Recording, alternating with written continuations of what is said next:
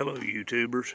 Listen there, I got a little problem in my handle, on my lift handle. I broke it. That keyway sticking out right there, that little uh,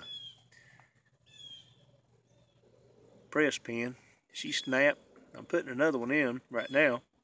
But what happened is whenever it popped, the keyway in there put a wedge in that cast iron of the lever and broke it. If you've got one you'd like to sell, give me an email. Thanks for viewing.